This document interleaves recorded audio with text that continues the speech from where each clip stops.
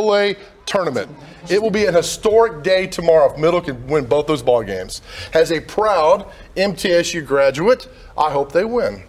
We, we wanted to get that moment captured on. Thanks. And our producer also, Matt Parker, Yeah. MTSU graduate. Yeah, a lot of MTSU right. love Yes. in this building. Absolutely. What's been the best game you've seen so far this tournament?